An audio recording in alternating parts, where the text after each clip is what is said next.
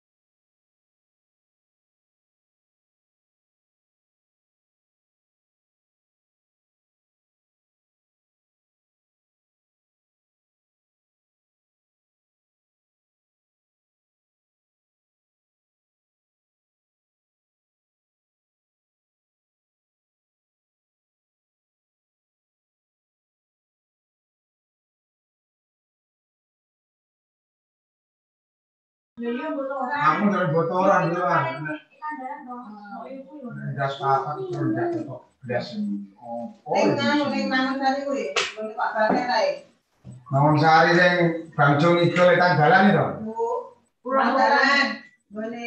sakit, sakit.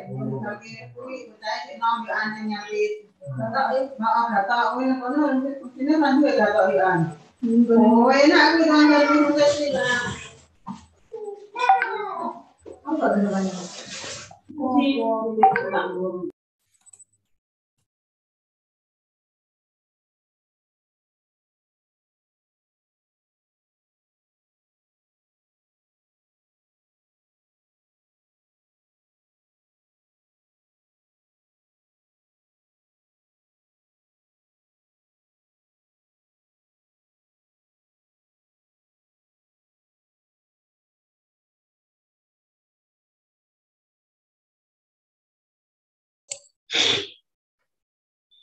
Hello, good morning, everyone. I hope that you all are in good condition and uh, always great as uh, always. So today uh, we will again have Dr. Noel with us. he will deliver a lecture about polymer technology.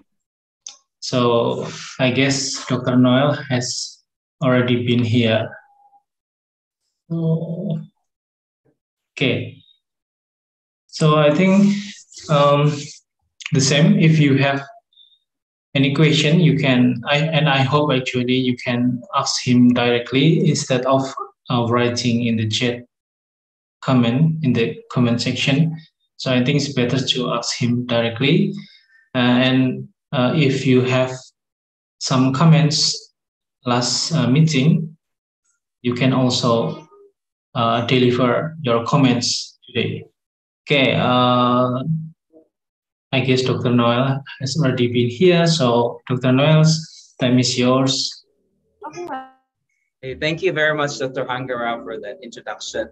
Yes, this is my second lecture of the polymer processing technology, of which I am tasked to do two lectures in series on the processing of polymer uh, uh, applications as well.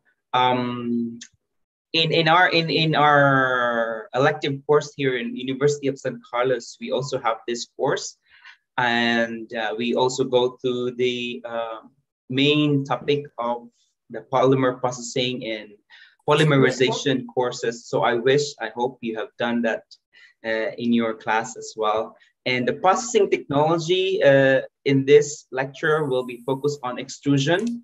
So the last lecture I had uh, talked about the fiber spinning technology.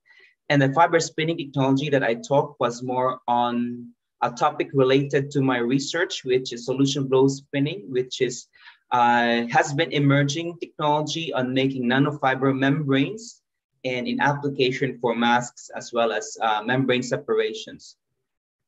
Today, my lecture is about extrusion. So extrusion is one of the most famous, if not the most common type of polymerization industrially and academically. And to be honest, I have not been in an uh, industrial uh, polymer technology where extrusion has been done in big machines. So lectures here are based on what we have read and what we have experienced through my, what I have experienced in my lectures, especially on designs, for example, and then examples and applications. So that's it. And I would like to uh, share my screen. Okay. Okay. Oh, who can share? So should I change my, okay, my option, right? Sharing is, okay. I don't think I can share my screen yet. Maybe someone has to. Oh, really? Yeah. Oh. Okay, maybe I will make you as a host. Okay, thank you, Dr. Angara. Okay, let's try it. Oh.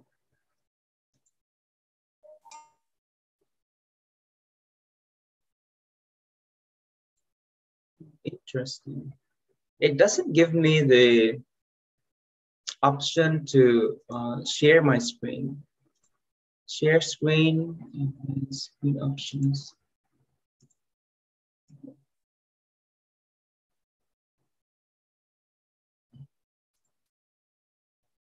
Yeah. Hmm, interesting. It doesn't give me um, a, a, window to share my screen. It, it just gives me a video on advanced sharing options. and then there is a window that asks question, who can share? Then who can start sharing when someone is sharing? Okay, so or or or let's see but uh, yeah it is a little bit strange because you are already the host hmm. like because this, I, it's supposed to be i'll click the share screen right? Yes yes uh, so could I you it, could you find this? Yeah.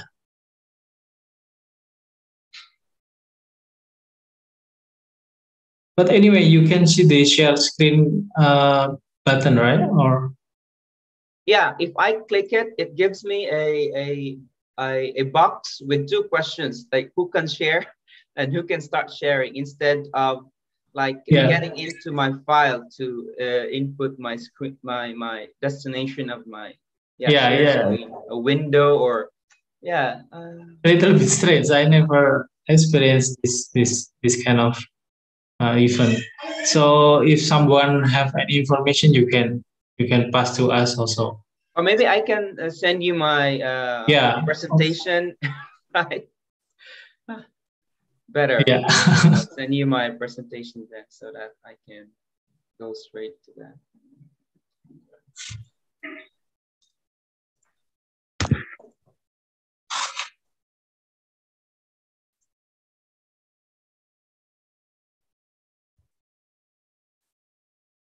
It's funny, we always have a problem with this. yeah, I also, I also. never had a smooth uh, lecturing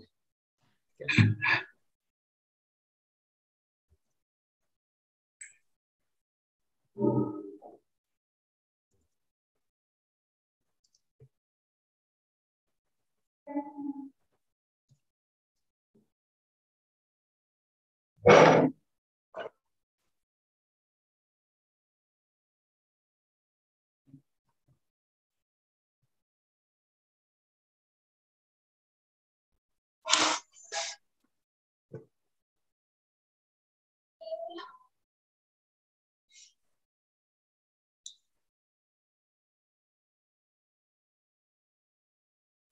Okay.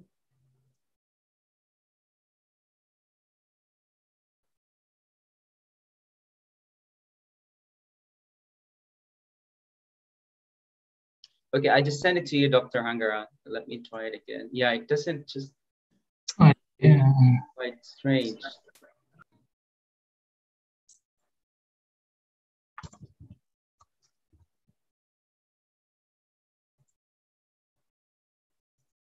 Okay, I will open. Let uh, wait a minute. Problem.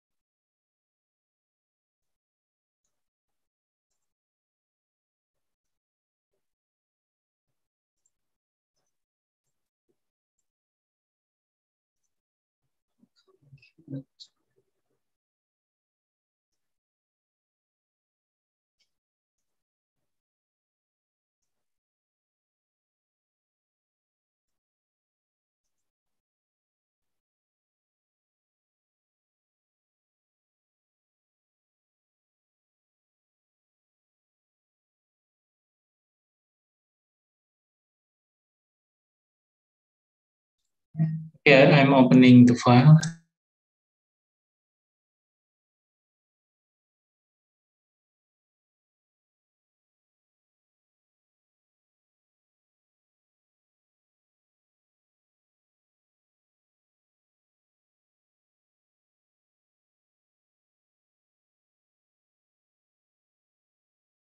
So as you said that you also have polymer, something like polymer technology course, right? So what what is uh, what are the uh, topics that you that this course cover? I think we have the same course covered in your uh, syllabus as well. But I Ah, think, okay. yeah, the step polymerization, the cationic and ionic polymerization, those type of polymerization. And then we also have uh, uh, polymerization in terms of reactor design because we that's the focus as chemical engineers. So what type of reactors are suitable for batch polymerization, something like that? And then the polymer the polymer processing are is the same like yours like extrusion spinning uh, the molding those kind of things. And then we also have the emerging biopolymers so those are the uh, main uh, content of our course. Okay, can uh, can you make me as a host again, oh okay. So that I can share? Ah. okay.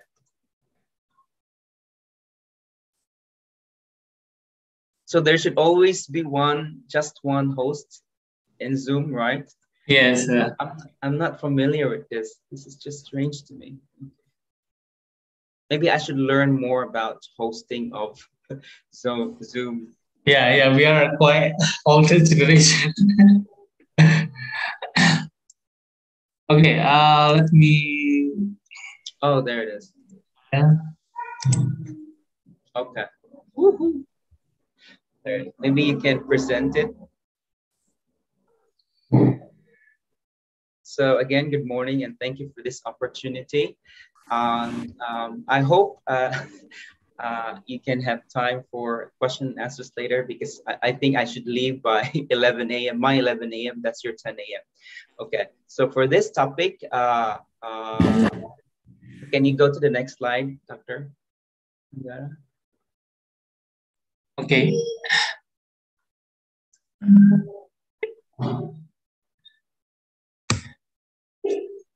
So yeah, just show the whole slide, I guess.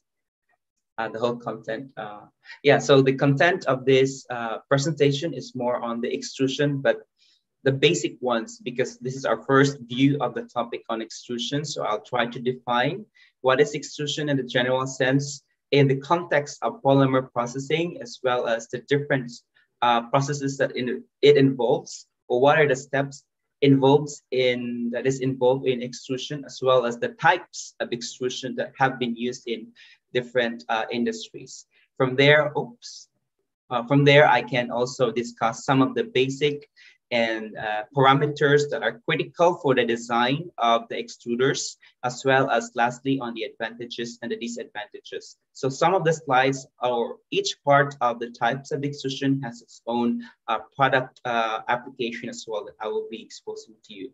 Okay, next slide. So this is the uh, definition of extrusion. In many ways, it is uh, a high volume processing. That means it can it can process uh, a big bulk uh, type of polymers or amount of polymers at the same time because this is a continuous process. You know, we have a batch, we have a continuous process, we have even have a semi-batch, but extrusion is a continuous process. So extrusion is the act actually of shaping a material by forcing it to a die or through a die or uh, other word for die is a mold. So in any polymer, can I use? So in any polymer processing course, extruders are actually the most common equipment. So if we talk about polymerization or polymer processing technology, extrusions should be there because this has been a topic for more than decades or uh, in, in many of the books. So the figure below depicts a typical extruder machine that converts solid polymers or pellets to a melt delivered to a die or a mold. So the polymeric materials are actually fed in a hopper and it goes down on the bottom of the barrel where the screw is, is also located and the screw delivers the solid polymers into another zone uh, in which it starts to melt. And then when it's fully melted, it goes near to the die and from the die, it goes to the mold. So this is the product comes on the right side. So as what I mentioned, the polymeric material is in the form of pellets and are fed into the extruder hopper. And then it, it goes to the screw channel. The screw is actually driven by a motor through the gear reducer over here on your left side, rotates in a hardened barrel. So the barrel is actually this part. It's actually the enclosure or the casing of the screw where a thrust bearing absorbs the rearward thrusts of the screw. And then thermal energy is actually uh, supplied by either during the melting process of the polymer or it can be internally uh, supplied. So there are heaters on top, uh, actually the bottom as well as the bottom of the barrel. And sometimes you don't have to put uh, heaters as well because there's what you call as cold extrusion as well. So sometimes it is both. There is a, a heater, sometimes it turns off and then heated again. So it depends on the type of extrusion product that you want to uh, develop. And most of the time after molding or after dyeing, your product goes out here and then there is actually cooling as well. So uh, for a strict definition of the screw or the extrusion, there are, uh, there are three, three sections uh, for this uh, extrusion. So uh, let's let's try to uh, discuss that further. Let's go to the next slide. So these are the three extrusion zones, or we call them regimes. You know, uh, once the product or the pellets, not the product, but the solid uh, polymer pellets are dropped into the feed zone, we call them, there is a solid zone. That means all things that are dropped are still in solid form or the pellet forms That's where also the, the section where pellets are conveyed to the main segment. So the main segment here is um, the transitioning zone, or there are many terms here. We call it a plastic, plasticating zone, plasticization zone, because it's where the transition occurs from the solid pellets to the liquid form. But it's not totally liquid all throughout. It is a transition form, but I'll discuss more about this later. And then it goes to the metering zone. The metering zone is where section is fully melted or the hot melt is located. So the first zone, again, I'll try to explain a little bit, is where the polymer materials are conveyed to the main segment of the extruder. It is essential that the conveying capacity is equal to the extruder's uh, melting and pumping capacity. So the theoretical approaches for this zone are not well defined, um, but uh, instead a semi-empirical uh, approach is used that considers the pellets to behave such as a solid plug for the plug flow. Uh, this plug advances with little deformation, so that means uh, they're all the the, the the the morphologies of the plastic are preserved, and its rate of movement depends on both the back pressure in the extruder and the frictional forces of the screw of the flight and the barrel. Uh, can we go to not next slide, but uh, next? Yeah. So okay. So you can see that in the barrel, the barrel is the outside coating, right? So this is the outside coating and inside is the screw. So there's actually a distance between uh, the, the barrel and the, uh, and the flight of the screw. So the flight of the screw are these uh, horizontal or diagonally arranged metal. So there's a very small um, distance, right? And it has to have distance because of course if it's it's it's close enough it can create a lot of friction. It might be heated then it will tear your barrel. It doesn't have to be so large as well because there might be leakage of your polymer material. So the transition zone which is the second zone is actually this uh, the entrance of the solid zone to the entrance of the metering zone it's where this zone connects the feed and the metering zone or the hot melt zone so the length of this zone varies with materials being extruded and generally the flow channel cross section is reduced in this zone. An exception is for rubbery materials for which the pitch angle is changed so that the overworking can be avoided. And then the treatment of this zone requires an analysis that combines flow, heat transfer, and mixing. So, but this zone is quite complicated because you know you have solid, you have liquids as well. And the last zone is the metering zone, or is where the material is uh, totally melted in liquid. So as such treatment combines the flow and heat transfer as well. So before we do some technical analysis, it's important for us to somehow see here the, um, the geometry of the screw extruder. And it's for us, the interest is we are able to define the flight of the screw, the screw diameter, the diameter of the barrel as well as the um, what do you call the pitch distance of the the distance between the flight of the screw as the barrel as well. And then we also have some terms such as the helix angle. I think you can uh, see where the helix angle is, and then the width of the flow channel. All of these dimensions are actually important for your design later. Okay, should we go to the next slide? Now, talking about extrusion, there are many diverse kinds of uh, screws that we can use depending on the applications. And the diverse nature of polymers as well can be extruded in a variety of operating conditions to create different types of screw commercially as depicted in his in this uh, presentation. So the polymers conveyed through the extruder ultimately passes through a die or mold and the ranges of pressure are given on this table. So the table shows from blow film to filament. You see the filament has really a high uh, temperature requirement because these are very small. So the smaller you, you extrude, the higher pressure it has to be uh, uh, is required, right? So the blow film are very thin or the cast film are very thin and there are sheets, they're very wide. So pressure are not that big compared to the filament.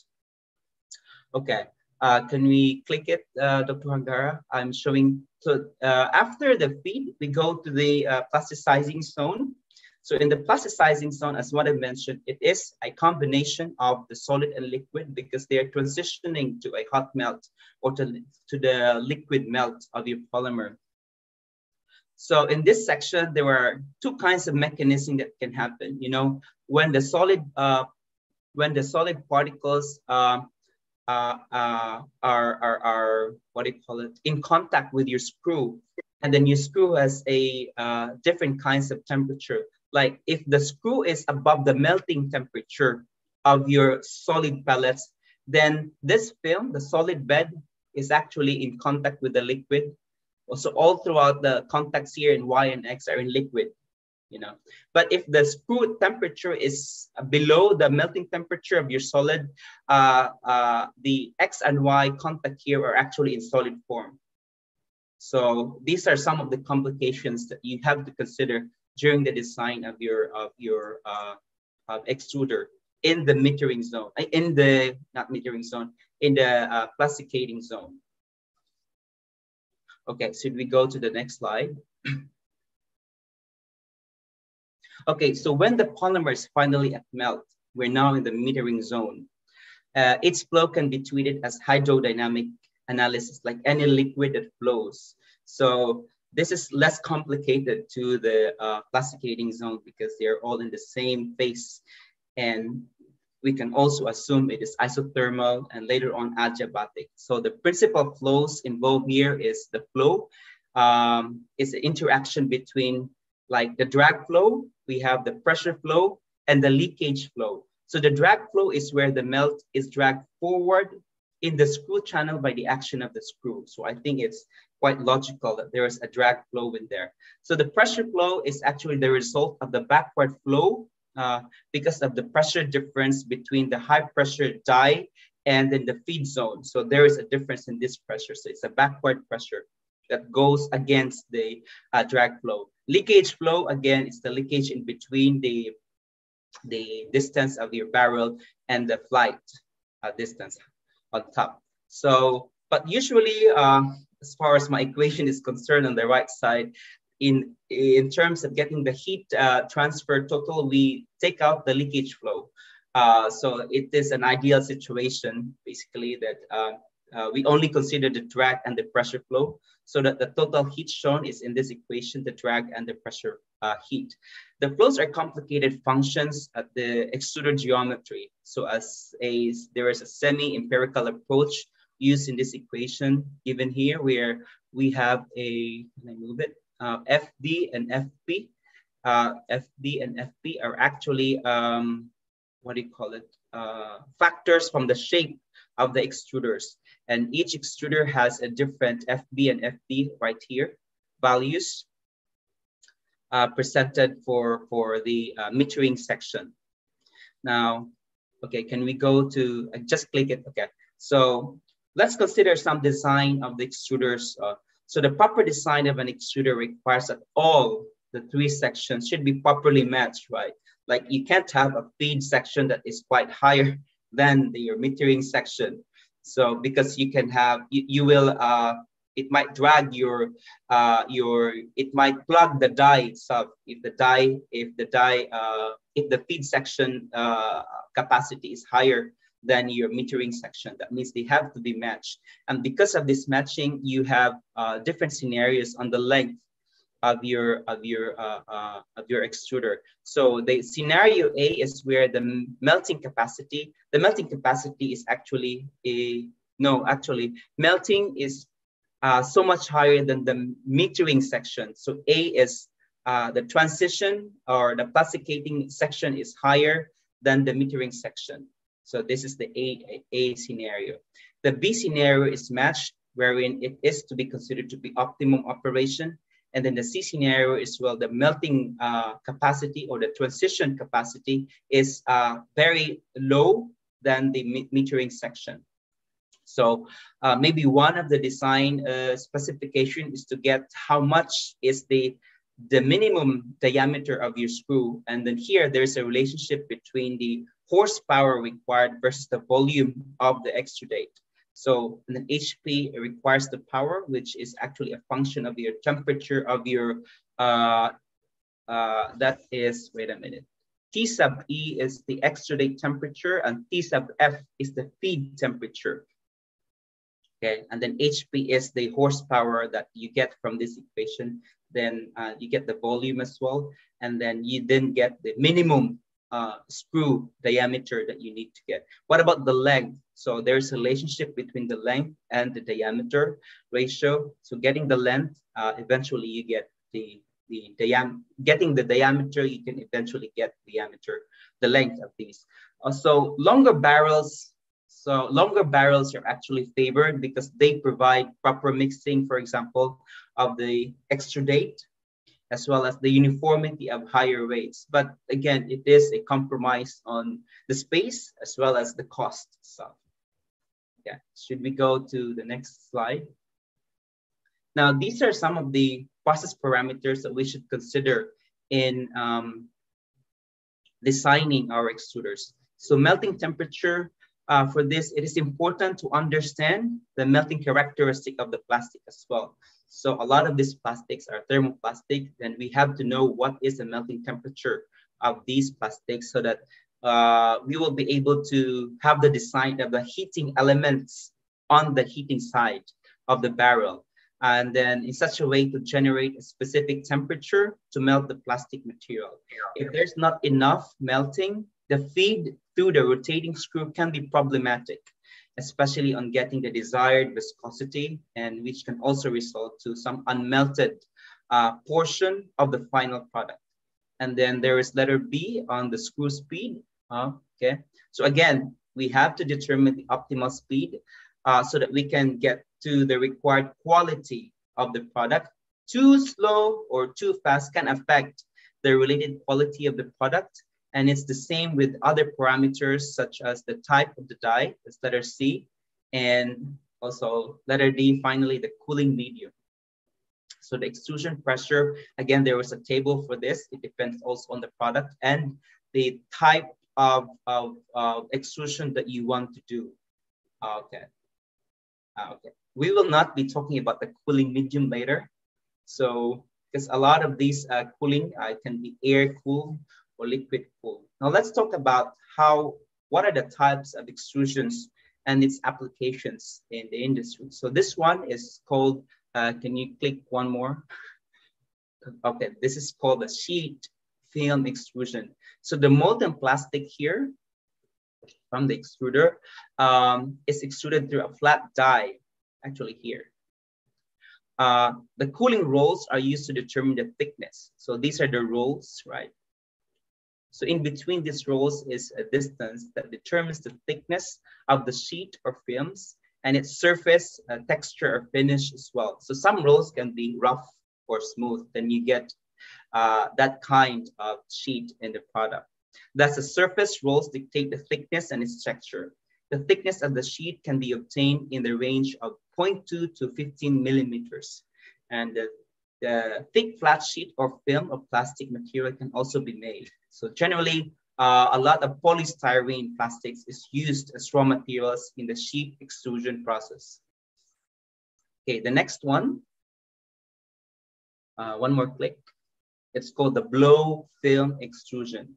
So by the word itself, there must be blowing here. And uh, the die here is vertically uh, arranged. So this is the die. Probably this is the, uh, the end of the extrusion process, the bottom. So the die is uh, above the extruder.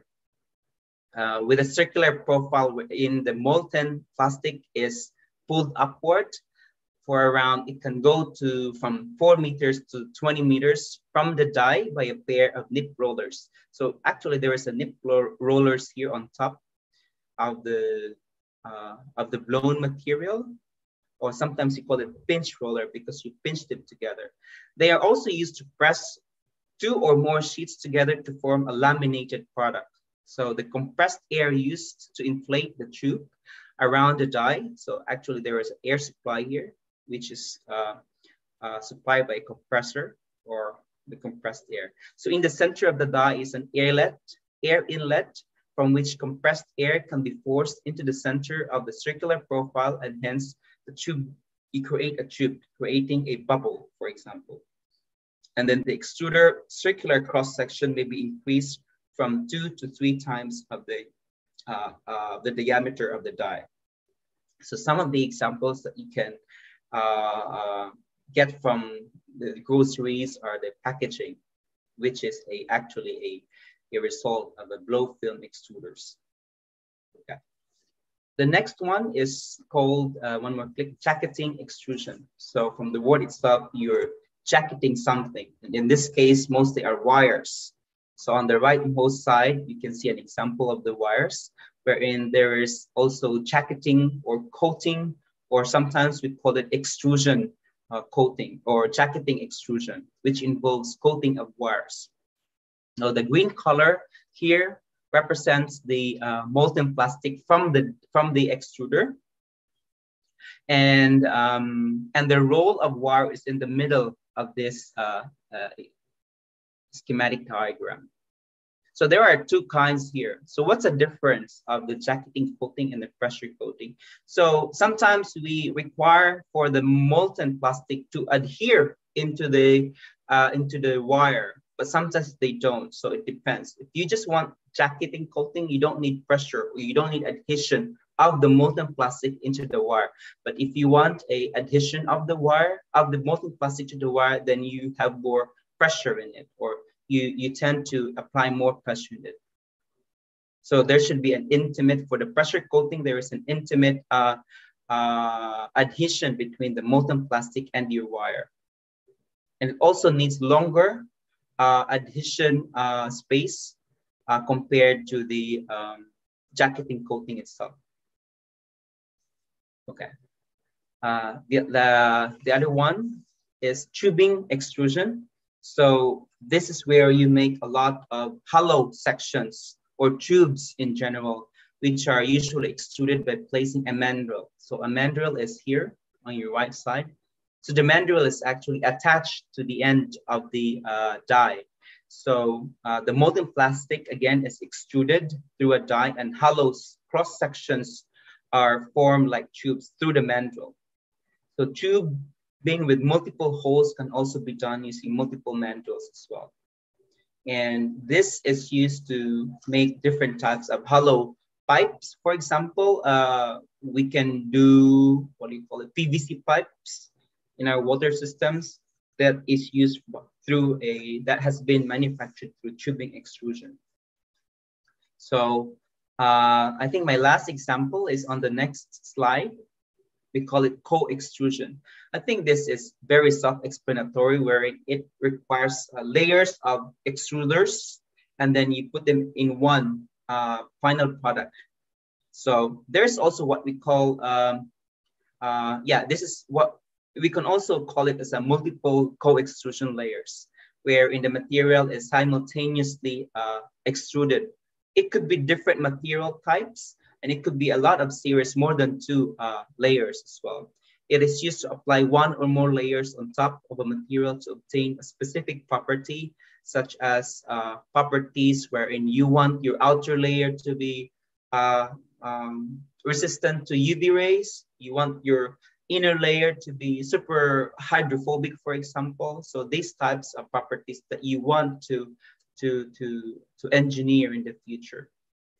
And it also can also use many type of processes, such as you can also use like extruder A, uh, a blow film, and extruder B as an over jacketing or uh, tubing or sheet film extrusion. So it can be a, what do you call it, a combination of the different types of extrusion as well. So the thickness or the layer thickness is controlled by the speed and size of the individual extruders delivering materials. Okay, uh, I think we're quite overwhelmed by the different type of extrusions. So here I'd like to point out some of the advantages and the disadvantages. So maybe first, why do you need to make extrusion? Or uh, what's the advantage of extrusion? One, it they say it's a low cost. Well, it depends on the type of extrusion, right? But uh, generally, it can be lower in terms of the uh, efficiency and the process wise, because this one is how do you call it? It's semi, it, it's continuous process, you know, compared to a batch, uh, you have to end it for a certain time and then you have to begin it again. So it might, uh, uh, uh, it might, it, it will cost more how I say, more money to run it again in a day or how many batches, but for continuous process, the extrusion process has a low cost relative to the other processes because of the efficiency as well of the process. And then the leftover materials, for example, is normally discarded uh, as waste in other processes can be used or reused in extrusion. Just put it back to the feed, right? And another one is flexibility. So extrusion molding provides considerable flexibility in manufacturing products with a consistent cross section. And um, so there are a variety of roller dies which can be used for different shapes of your products or to alter the different shapes of the extruded plastic to fit certain requirements. And again, continuous operation is an advantage of this type of polymer processing because uh, it saves uh, cost, energy, and the time for the whole operation to operate. And there's also high production volume, as what I've mentioned in my first slide. It is a high uh, production volume processing, and the um, product output uh, of extrusion is observed to possess properties such as good mixing um, because of its uh, of its nature to mix well in inside the barrel, and it can produce a higher amount of products compared to, of course, batch processes.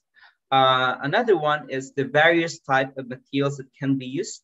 So it can be used in different products requiring different materials as well, or different composite products for uh, different materials and properties. But on the consequence side, um, the disadvantage side, uh, can you click one more, Dr. Hangara? Yeah. So, yeah, there is also a, a, a consequence on getting size variations of your uh, products. When the hot plastic exceeds the extruder, it, it frequently expands. So predicting the exact degree of expansion remains problematic as it arises from the different factors in the process. And then there is product uh, uh, variations due to the heat used and unpredictable expansion is expected. Therefore, the manufacturers accept such significant level of deviation compared to the original products. And then initial cost setup is really big because the equipment itself is big and it requires a lot of space as well. And it says a high compressive force required. Um, I think this can be emphasized in cold extrusion, wherein you don't need heat to extrude your plastic, but then the force required for extrusion is really high compared or relatively high compared to the heated extrusion. And then of course your material die will wear as well. And I think one of the um, disadvantage like there might be slight product variations that is delivered in the product stream. Um, so I think that actually concludes my presentation on the basics of extrusion.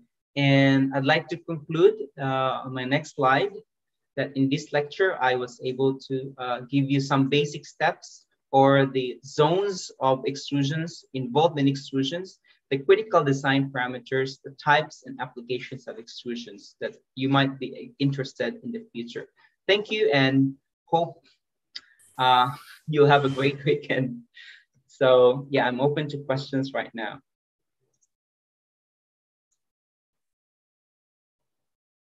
Okay, that's an extra slide actually. Oh, okay. Is anyone doing a study on extrusion or plastic processing? No, actually, in in uh, our department, um, one of our lecture is doing with polymer, but this is not like uh, synthetic polymer, but this is like more like um, biopolymers and yeah. bioplastic, something like. Yeah yeah, I think there is now a transition to that kind of material, especially on you know responding to the sustainability uh, yeah. index and pressures around the world. We are actually we need to such kind, but I don't know if there has been bioplastic that has been extruded. no, it's still in the development Very stage. early stage, right? So industry-wise, not such a thing. And you know that uh, the turn, uh, I mean, the situation is that if everything is, if we talk about uh, everything about uh, sustainability, usually people is very interested, even though in the real setting, maybe it doesn't work at all. I agree. But uh, of course, we still have to pursue, we have to encourage such uh, effort. yeah, hopefully someday we can achieve real sustainability. Uh, oh, I, I, think there's a question from uh, Camille uh, Chris Isnan on the biodegradable plastic extruder. So as far as I'm concerned, I've never had experience on the extruding bioplastics yet. Uh, you know, bioplastics can be uh, synthesized like microbial, fungal, and also lab lab scale uh, lab scale uh, synthesis, which I am also doing that, but never had uh, extrusion yet because extrusion is more industrial. So, and we are not yet in that stage as what Dr. Hangar was telling us. So I don't think it will be sooner to extrude bioplastic. Have you tried this, Dr. Hangara, extruding bioplastics? Uh, because if we work with uh, bioplastics, the problem is uh, we, we have many problems. So one of the problem is the stability of these materials. Yes, thermal stability and mechanical stability also. Um, they are a lot of these properties. Yeah, I agree. Uh, we have a project for bioplastic from chitosan. This uh, one of my uh, uh, groups. So they what they do is extract it from chitin or from shrimp waste actually, and then our final product is actually a a, a package for uh, snacks, chips. And yeah, are, same. yeah, so we are in contact with a manufacturer here in the Philippines. So, um, but it's still there's a lot of limitations using bioplastics for packaging food, eh, for example, because what we can produce are chitosan based, and these are chitosan based can be actually uh, diluted when it's in in water, for example, for a long time. So there's a limitation for this. So I don't know what's the feature, but the way we we we we we, we make the, the the packing is through solvent casting. So we hmm. have a cast. We pour the we pour our liquid already in liquid, and then we form the cast itself, and then two casts, and then two kind of two kind two casts uh, two kind material, inner and outer layer, and then we put them together, and then another one for the, the other layer. So no extrusion yet. So in the state, I mean, uh, yeah, if we see in the literature, um, many people, so many people nowadays are, are doing about bioplastic. I believe, especially in the uh, tropical countries like Brazil and I saw Mexico. I saw some some some of the groups working with bioplastic. And yeah, if, if we saw the paper, sometimes if we review this paper, uh, very promising, very promising. And but when uh, I also have some colleagues who work in industry and uh, the industrial uh, sites, uh, they are always uh, yeah feel not that confidence of applying this technology. But yeah, uh, I believe that someday maybe we can find the raw material which is suitable for this this large large uh, uh, the the large scale production.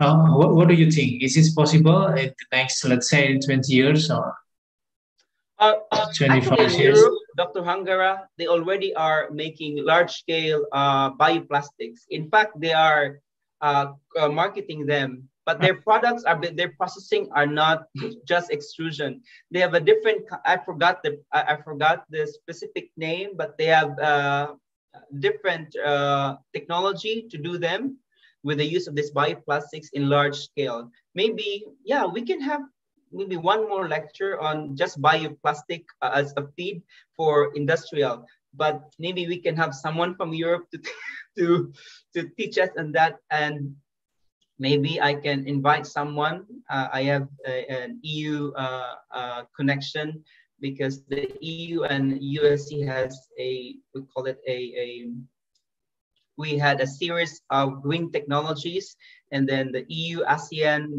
webinar. They, they, they, they, the main purpose is to uh, transfer their technologies to the ASEAN.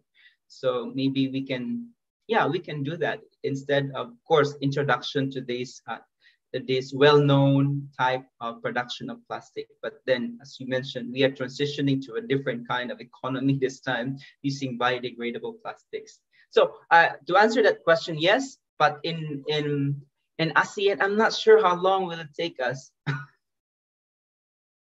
I see. Yeah, uh, because uh, as you know, our countries are um, uh, our country have uh, quite a lot of uh, different raw material which might be suitable for bioplastic. But uh, now my work is also includes this this topic, so I'm searching the suitable raw material for for making bioplastic because maybe the, the toughness or the stability is not that good, but uh, it can be improved uh, for sure. So uh, hopefully, hopefully I can get something, something. Yeah.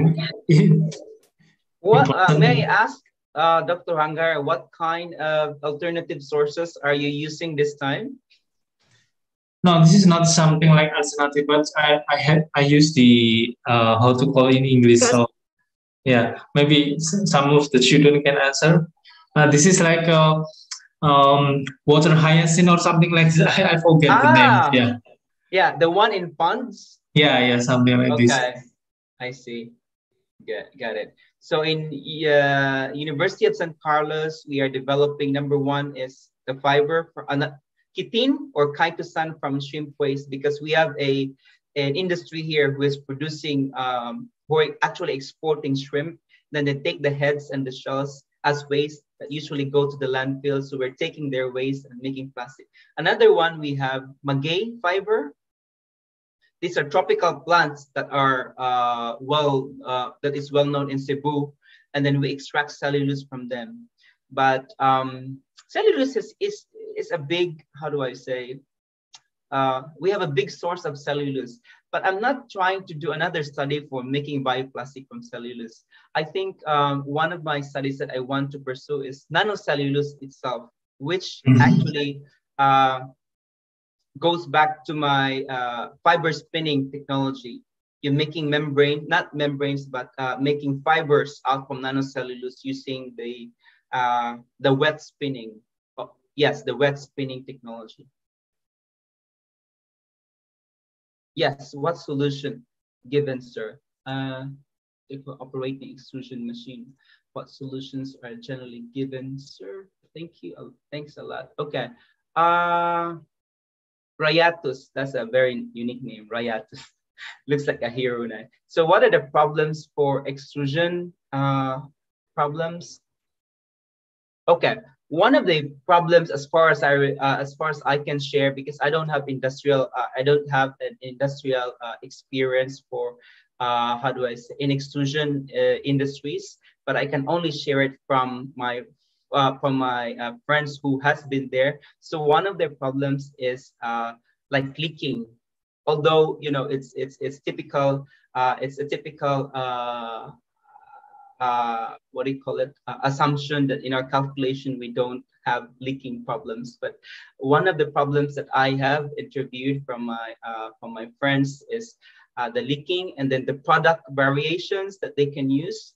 Uh, they can only get it from out from getting the product itself. So what they do is uh, they do a lot of trial runs because in the in the um, what do you call it in their industry they have a quality check so in the quality check, they try to get the uh, process parameters that they want in the extrusion machine, and then they try to find out the product itself, the variation of the product itself. So one, as far as I know, one of the problems that they get is the product variations that they get from the after the extrusion machine, and then they go back to to to to solving the problem through the parameters. So the parameters can be the the temperature, the screw speed, the maybe the type of the die itself.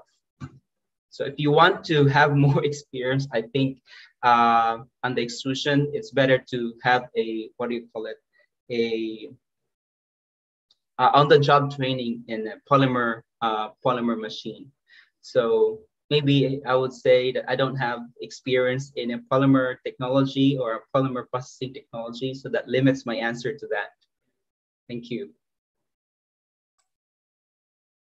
Actually, I have a question. So let's say um, it's possible using your machine to to make, uh, of course, possible maybe uh, membrane uh, membrane from.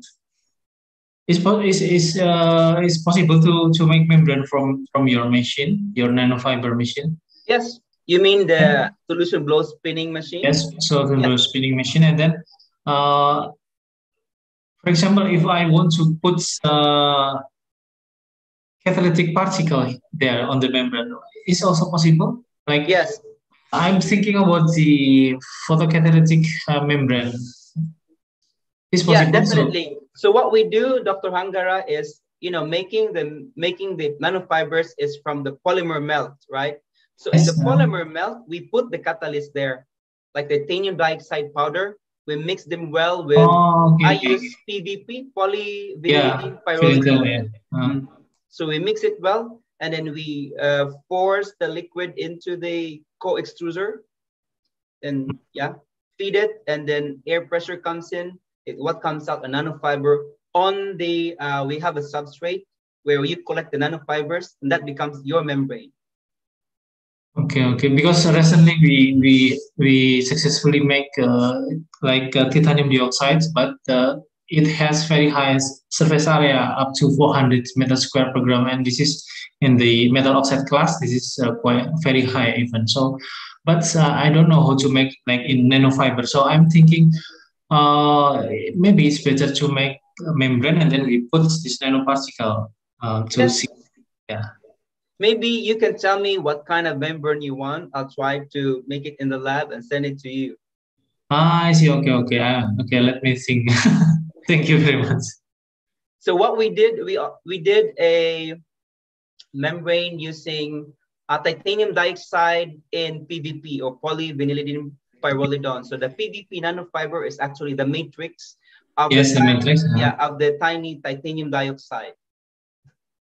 So it's easy Oh, actually okay. to uh, what do you call it? Uh, uh, it's easy to recover your membrane as well Yeah, yeah. the yes. membrane itself rather than the solids. Actually, the titanium dioxide sometimes dissolves in your like. Yeah, this is the problem. Yeah, Yeah. yeah. That's why It's if not we can. expensive, right? Sorry, It's not expensive. Titanium No, no. dioxide. very cheap. Yeah, very cheap.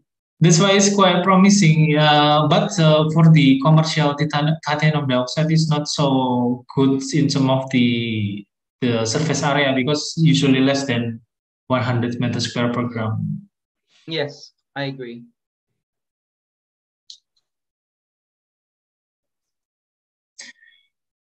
Okay, any other question, please?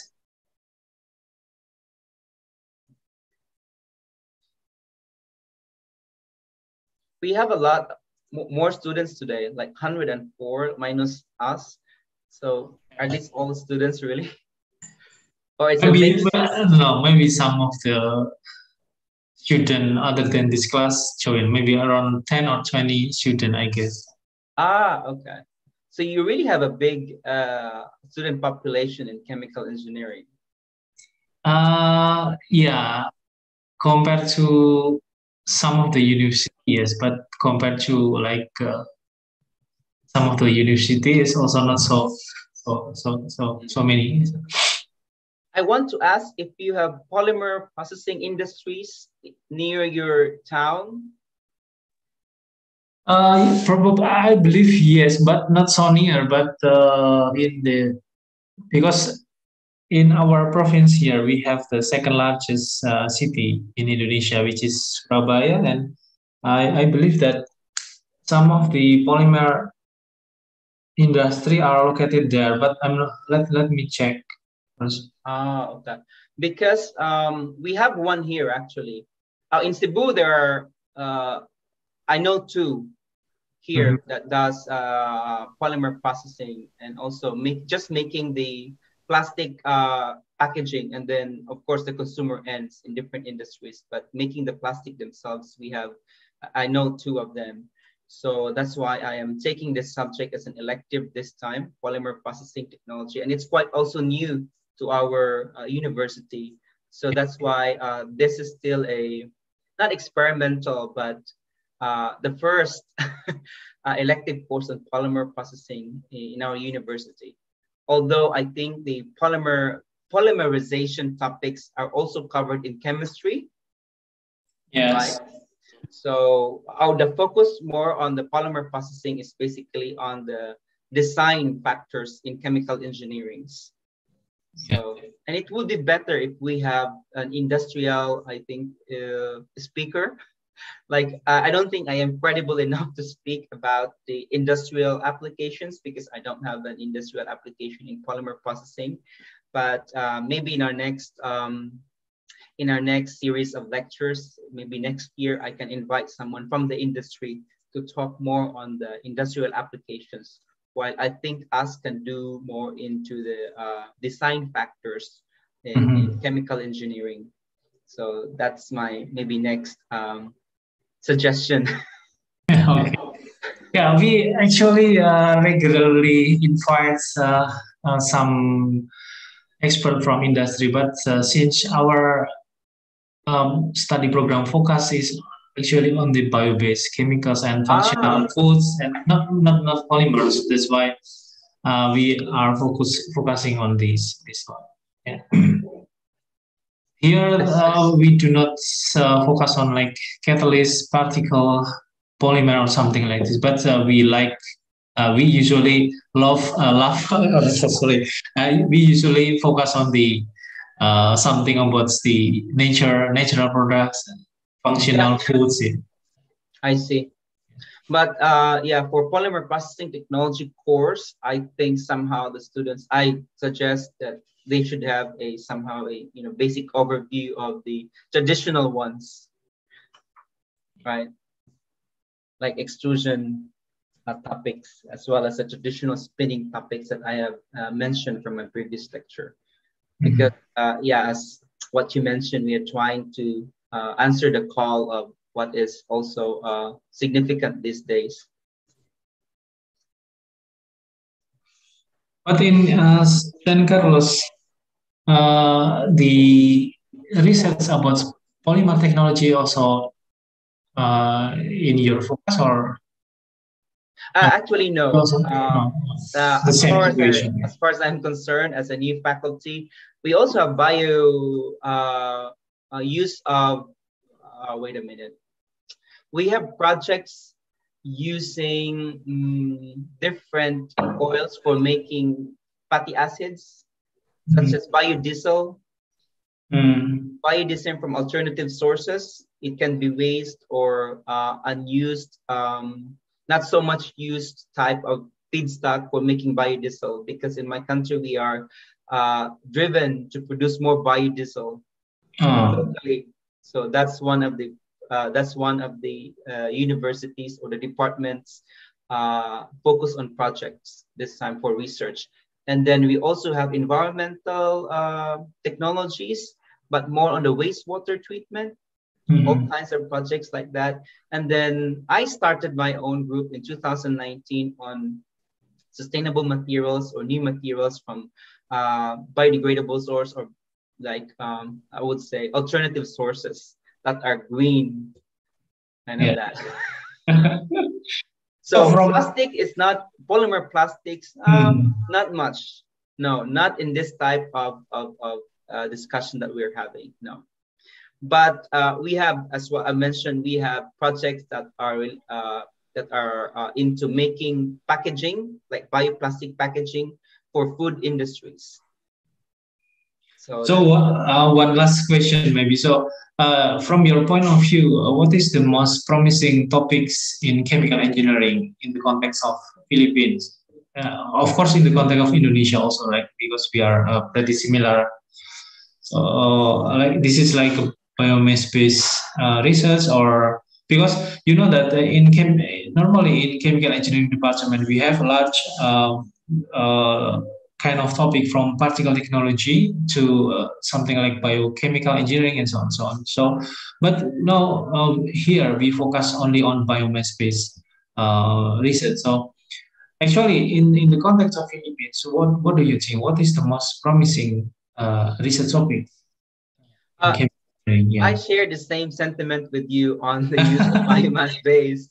In fact, a lot of our uh, students are doing this type of projects these days, and I cannot blame them because you know we are triggered with the needs of the country. Uh, yeah, I, I I share the same sentiments in the biomass biomass uh, applications of the different types for plastics industries. Um, but to be honest, um, uh, there is always a big gap between the industries and the academic research.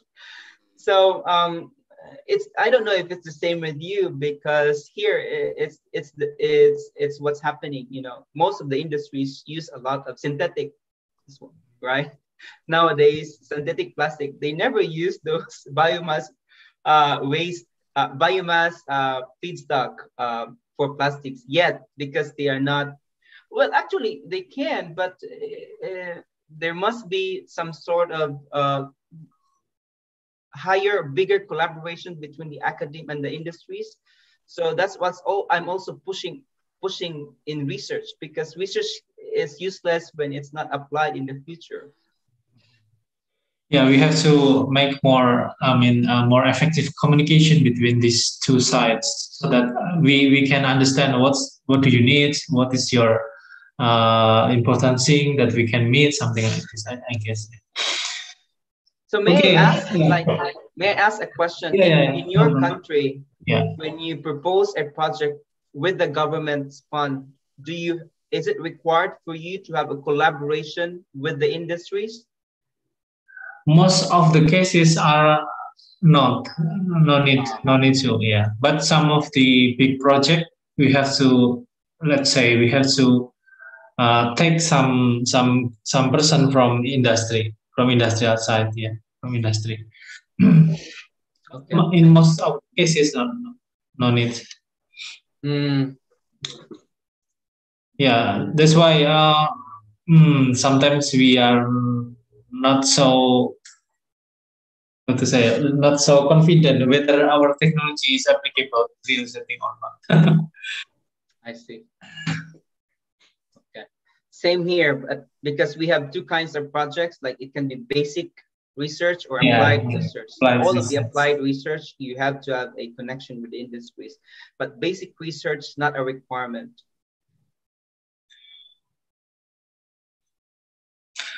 Okay, uh, is there any question? So, so I think uh, because of our uh, limitation and um, of course, I apologize apologize for some of the conveniences that we face, uh, but I believe that uh, the original information can be effectively transferred to you guys so that you can learn because this uh, this material is shared in YouTube, so you can uh, see again, you can extract the information uh, from the Dr. Uh, Noel. And then uh, for the final examination, uh, we will take some of the information um, from these two presentations so that you have to learn to pass the final examination. Oh, Uh, again, yeah. oh I'll, I'll send the first uh, material because I don't think I sent it to you, right? oh, I'll yeah. send the first one. Yeah. Okay, thank you. Okay, from our side, uh, we thank you very much, and we hope that this uh, initiation, this collaboration in the joint teaching can uh, trigger more ac- academic collaboration between uh, two sides. If you have any comment, Dr. Noel, please uh, deliver to us. But uh, yeah, we, we are very happy to receive your comment or any anything from your side. Okay. If you have, please to us. Uh, okay. Oh. Okay. Uh, uh, did you say comment? yeah, if you have any comment, but if no, is no problem at all. So okay, but I'm I'm thank you very much for the uh, opportunity for the collaboration, and I hope we can continue this and uh, make it better. Maybe yeah, yeah, yeah, yeah, yeah, of course. yeah. So yeah, so thank you. And um, yeah, I'm looking forward for more uh, lecture collaborations this time because it is very effective for us to exchange ideas and knowledge as well as future project collaborations as well.